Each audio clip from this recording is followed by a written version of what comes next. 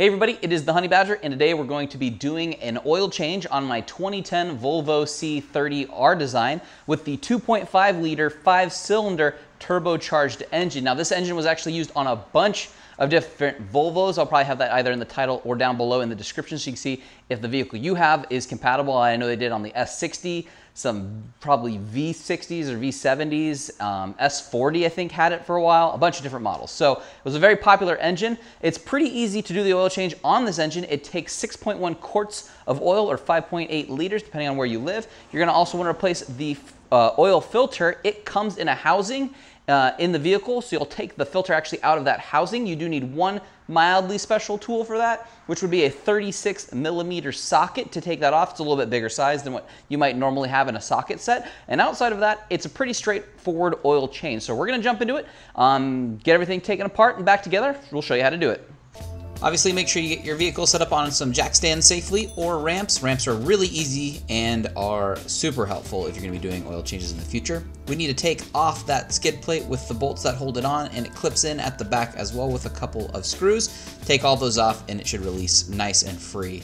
Sometimes you might have mismatching hardware like mine because I've lost a few over the years. Next thing that we're definitely going to want to do is get the drain plug off of the back of the oil pan. Mine was stuck on pretty hard, but was able to get it loose. Once that bolt has been broken free, it's easy to unscrew and let the oil start to drain, obviously into an oil pan where you have enough room for all of it because you're going to be draining about six quarts. If you go up to the top of the engine and take off the oil cap up there, it's going to let it drain a little bit quicker. Make sure everything gets out of the engine before you continue on to the next step. Next thing we need to do is remove the filter on our intake. Now on the stock intake, you want to take the box out to get access to the oil filter. On my car, it's a little bit easier with just taking the filter out. Next, get your 36 millimeter socket, which is going to help you break loose the housing for your filter. Get that screwed off. And obviously when you make sure to take this off, have a rag with you as it's going to um, drip some oil and you'll have a little bit to clean up likely in your engine bay right here. Um, not always the cleanest to take it out.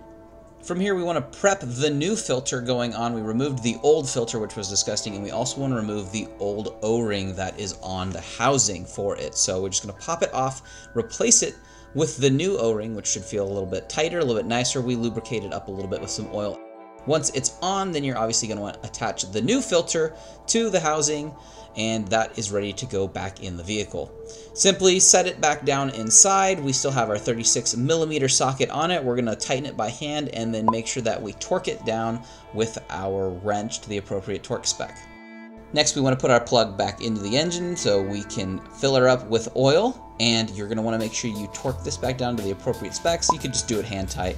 Should be fine most of the time, but the torque spec is down below as well. If you're feeling brave, you can definitely eyeball pouring your oil in, but I like to make things easy on myself. Bust out a funnel, throw it in there, and make sure you're filling it up with 5W30 weight oil. Once you've filled it up with oil, you'll definitely want to start the vehicle to make sure there's no leaks and check underneath. When you're done making sure there are no leaks or anything bad going on, obviously, throw on that skid plate or that belly pan for the vehicle. It kind of slides and clips into place at the back, and then once it's lined up, you can drop the screws back into it to hold it in place. Time to pull her off the ramp because this job is done. And there you have it. That was not that difficult. I want to say it took me about 35 minutes while filming to do my oil change on this vehicle, which means if I didn't have to film, I probably would have saved 10 to 15 minutes. Probably would take 20 minutes to do an entire oil change, and it's not that difficult. So you can save some time and some money, and uh, I'd say it's definitely worth it. If you have any questions, leave them down below in the comments. I have some links in the description to some of the products that I used in this video, and I'll see all of you guys in the next video.